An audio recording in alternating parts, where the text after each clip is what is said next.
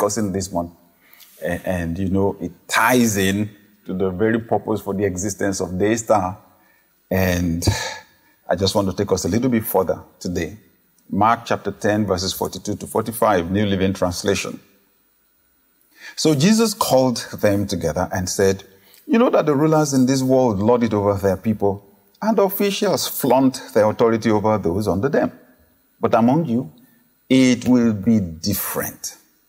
Whoever wants to be a leader among you must be your servant. And whoever wants to be first among you must be the slave of everyone else. For even the Son of Man came not to be served, but to serve others, and to give his life as a ransom for many.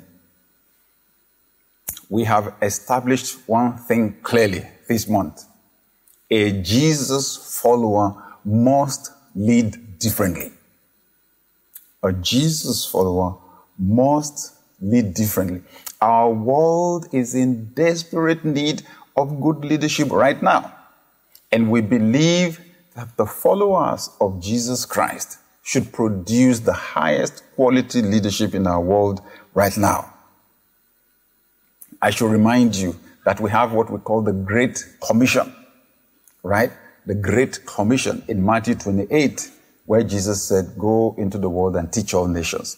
When you look closely at the Great Commission, honestly, it's a leadership mandate. Let me read it from the Message Bible Matthew 28, 19, and 20. Go out and train everyone you meet, far and near, in this way of life, marking them by baptism in the threefold name Father, Son, and Holy Spirit. Then instruct them in the practice of all I have commanded you. Instruct them in the practice of all I have commanded you. I'll be with you as you do this day after day after day, right up to the end of the age. You see that? Go and train everyone you meet. That's what he said. Isn't that interesting? It's in your destiny in Christ to be a trainer, to be a mentor, to be an influencer of others. That's why Christ said you're the light of the world. He said you are the salt of the earth. In God's provision, you are not meant to leave people the way you met them. Okay? So this is more than getting people born again, the Great Commission. Because we used to think it was getting people to be saved, to be free from their sins. That's a major part of it. Of it. That's the starting point, but that's not all there is to it. Okay? It's about mentoring people in God's way of life. Remember how Christ described leadership outside of God's system in Mark 10 42. So Jesus called them together and said, You know that the rulers in this world lord it over their people, and officials flaunt their authority over those under them. So that's the basic system in our world that people dominate the weak, that leaders take as much as they can for themselves it's a system driven by selfishness, driven by greed. Hear what God said to Israel when they asked for a king. 1 Samuel 8, verses 10 to 21, Message Bible. Yeah, I'm reading, I want the Bible to speak for itself. so I'm reading a large portion. 1 Samuel 8, 10 to 21, Message Bible. So Samuel said to them, delivered God's warning to the people who were asking him to give them a king. He said, this is the way the kind of king you're talking about operates. He'll take your sons and make soldiers of them. Chariotry, cavalry, infantry, regimented in battalions and squadrons. He'll put some to forced labor on his farms, plowing and harvesting, and others to making either weapons of war or chariots in which he can ride in luxury. He'll put your daughters to work as beauticians and waitresses and cooks. He'll conscript your best fields, vineyards, and orchards and hand them over to his special friends. He'll tax your harvest and vintage to support his extensive bureaucracy. Your prize workers and best animals he will take for his own use. He'll lay a tax on your flocks and you'll end up no better than slaves. The day will come when you will cry in desperation because of this king you so much want for yourselves. But don't expect God to answer. But the people wouldn't listen to Samuel. No, they said, we will have a king to rule over us. Then we'll be just like all the other nations. Our king will rule over us and lead us and fight our battles. Samuel took in what they said and rehearsed it with God. Okay? God told them the result. This system is built on sinful human nature. It does not have the capacity to handle power well. They said, no, we want it that way. But this is what I want to say today. Jesus said, but with you, it must be different. So I'm saying here that most of us have been raised on a heavy diet of this, this leadership system that is built on self-centeredness and greed. And we need to get it out of our system. We need to get it out of our system. It is there. it is there. We need to get it out of our system. So, how did Christ do it? Hmm? How did Christ do it for his disciples? We discussed it last week. He washed their feet. He served them. He served them and washed their feet. That thing that he did killed something in them that day. It killed the domineering version of leadership in them. You notice Peter refused. Peter protested. Lord, it does not work that way. I'm the one that should wash your feet. I'm paraphrasing, right? It does not work that. Why should you, the leader, be washing my feet? I'm the one that should wash your, you wash yours. You remember what Jesus said? If I don't wash your feet, you have no partner lot in me anymore. You are out of this system, out of this agreement. What I called you that you were going to do, it will never happen again. You will lose your calling. Then Peter said, Ah, I didn't know it was as serious as that. Please wash everything. Wash me from the head, from my head to my feet. Peter wanted to dodge being served by Christ. That's how Christ killed the domineering system of leadership in them by serving them. The way you are led is the way you will lead. Many people in leadership today don't have human feeling. They don't care about the poor. They don't care about people suffering because nobody cared about them too. Most of us grow up in environments like that, impoverished, suffering, while some are living in extensive luxury based on our commonwealth, right? So the way you are led is the way you will lead. And that thing was inside the disciples of Christ. He had to get it out. And the way to get it out was not to curse them, it was not to insult them, it was to love them sacrificially. He loved them to the point where he died for them. They watched him literally die. Peter watched him literally die before his eyes. Christ served Peter, served Peter and washed his dirty feet. Something died in Peter that day.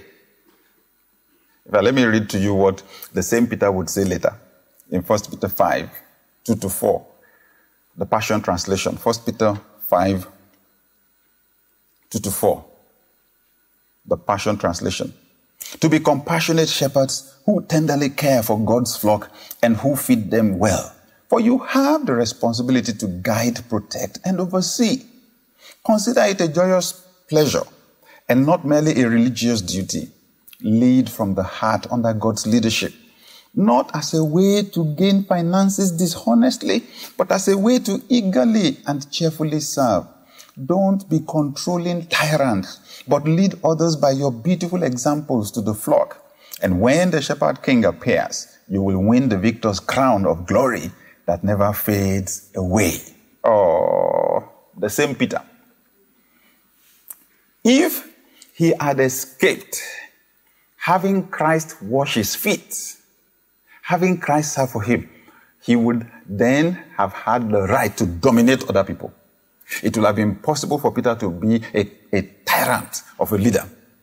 But that dimension of Peter died the day Christ washed his feet, served him. So, what am I saying? What's the principle that we're pulling out from here?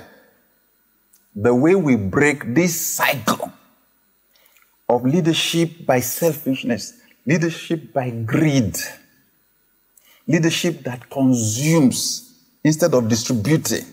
The way we kill it is by serving people and loving them sacrificially. I wish there was a better way. But this is the example that Christ gave us. Have you noticed? Sometimes we insult people in leadership positions, we curse them, and it doesn't change anything. I've been around only a few decades, and I have seen, I've had curses and curses and curses being unleashed on people in leadership position, and it's just getting worse. It's not changing anything. Christ did not come to curse Herod. you know, he did not come to curse anybody.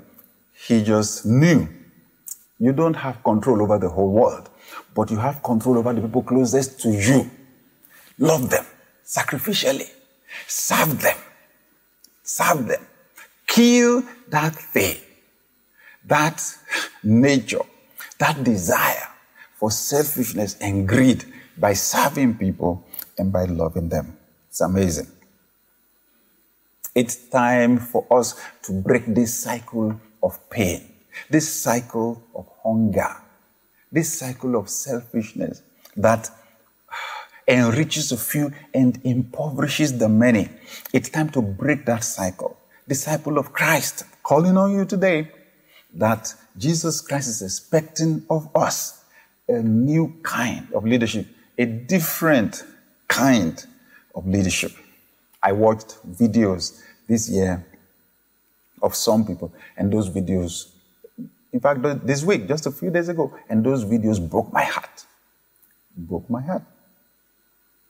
Someone, you know, saying he's asthmatic. Sadly, the company that produces the asthmatic drugs that he uses in Nigeria packed up and left the country. And now it's, it's, it's a third party distributor that is distributing uh, their products. And he said he used to buy this box of, of medicine that he would use, I think, in a month for 8,500 naira.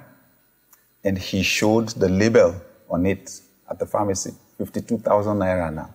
I cringed. And there's the other one, the inhaler, right? that he used to buy for how much? And the price has also multiplied, right? Then he said so how am I supposed to be able to afford this when my whole take home for the month is 45,000 naira? That's not even enough to buy the pack of drugs. It broke my heart. Market women talking about how much they were buying uh, fish or their goods some months ago, and then how expensive they become now, and saying it was it's whatever they sell in the course of the day that gives them money to feed their children, to feed their families. I, I shuddered. I was in pain, right? And I know when you don't understand the issues, when you don't dig deep enough, you think it's about politics. It's not about politics. It's, this, it's the same scenario, whether it is military, whether it is democracy, whether it is one party or the other. What we are dealing with here is the same nature. It's same, period. the root definition of corruption is illegal behavior. Now, illegal behavior is sin. It's the nature every human being is born with. That's why Christ went for that instead of cursing anybody, right? Christ went for that.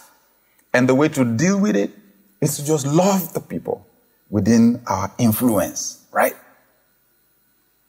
Let's use the Jesus pattern to break the cycles of leadership in our world right now. For example, it's time to show children love. It's time to show children love.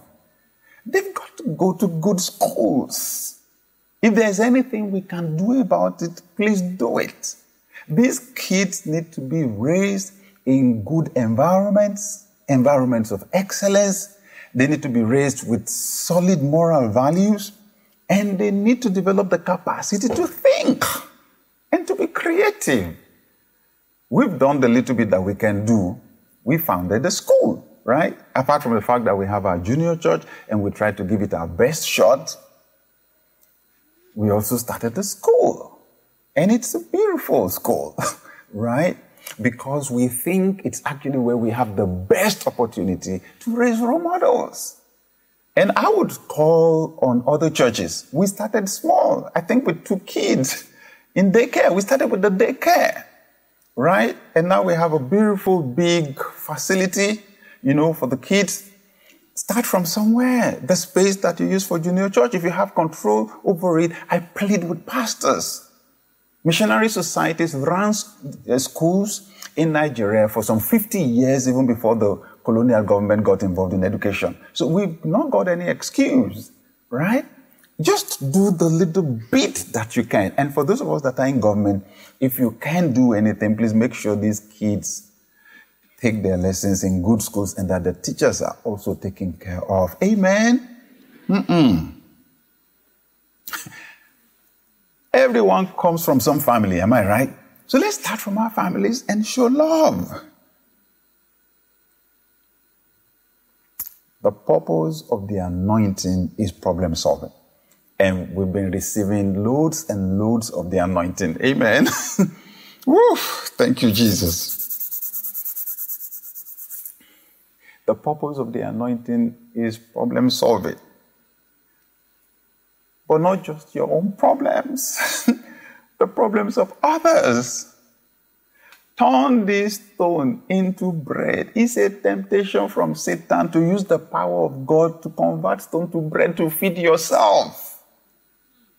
Christ had not eaten for days, and Satan wanted to leverage his deprivation to get him to use the power of God for a selfish reason. So the fact that, oh, you have suffered, oh, you, you, you, you lack this, you lack that, is actually not a good enough excuse to use the power of God and to turn it on yourself. If you are the Son of God, turn this stone into bread. It's a temptation to selfishness. Christ had the power to do it, he did not do it. But when it came time to feed the crowd, Christ used that power to multiply bread and fish and fed the crowd. Hallelujah. That is the Jesus kind of leadership. Thank you, Lord. Whew. Thank you, Lord. Thank you, Lord. Who believes that we can have a new kind of leadership, the Jesus kind of leadership, and that it will bless our world? Let's go ahead and say a prayer. I want you to pray, say a prayer of commitment right now. Lord, in the name of Jesus, I accept the instruction that you gave that I should lead differently. Thank you, Heavenly Father. In the name of Jesus. Yes, Lord, I commit to lead differently, to love sacrificially, and to lead by serving, to wash other people's feet, to make life better for others with all the resources you give me spiritual, mental, psychological, emotional, physical, material, financial to make life better for others. And I thank you because when that day comes, I will get my reward for living, for leading differently. In the mighty name of Jesus Christ. Amen. Let me pray. Let me pray for us. Father God, in Jesus' name, I present to you everyone that is a part of this service today as we celebrate the 28th anniversary of Daystar Christian Center. We thank you. We thank you. We thank you. you have done amazing things. You have raised from our church people that care, people that have love, genuine love for others, people that are serving, serving in government, serving in the business world, serving in schools, serving in hospitals, serving in churches, serving all over the world. We thank you. And now, Heavenly Father, as a church, we ask, take our harvest, the testimonies we have now, Father God, turn them into a seed and multiply the impact of Daystar thousands of times over in the name of Jesus. Heavenly Father, that means that we are asking that you take every one of us praying together today and that you multiply our capacity and multiply your love in our hearts and multiply our impact, multiply our influence, positive influence on our world many times over in the mighty name of Jesus Christ. Thank you, Heavenly Father whatever stands between anyone and the fulfillment of their destinies, we bury them in the name of Jesus. Remind you, Heavenly Father, the night before this Daystar was inaugurated, we covenanted this church to you. We took the communion and covenanted this church to you. It's your property, not anybody's property. So, Father God, in the mighty name of Jesus, we receive the blessings of that covenant on everyone that is a part of this time now in the name of Jesus Christ. Let your power preserve their lives. Let your power prosper them. And let your power enable them, Heavenly Father, to be a blessing to their world. In the name of Jesus Christ. Lord, I pray for the person present in this service who says my relationship with not, is not okay with God actually. Thank you, Heavenly Father, for sending your Son Jesus Christ to die for our sins. Thank you. And thank you because all we have to do now is to ask you and you forgive us. And I thank you for that honest person right now who is about to say that prayer. Just before we say that prayer, can I ask you, if you're that honest person, to put your hand on your heart? Pastor, I can't be lying before God. My relationship with God is not okay. You may be a part of our service physically or on TV or online. Can you just put your hand on your heart? I want God to forgive me my sins. I want to lead differently. God bless you as I pray for you. Father God, in the mighty name of Jesus Christ, I thank you for my brothers and sisters who are saying this prayer right now. Thank you. thank you. Thank you. Thank you. And thank you because there's forgiveness for them in the name of Jesus. If your hand is on your heart, can you say this prayer after me? Dear God, I believe that Jesus paid for my sins. I ask you to forgive me and to accept me as your child. In Jesus' name. Let me pray for you. Heavenly Father, we're grateful. Jesus said there's joy in heaven among the angels when this happens.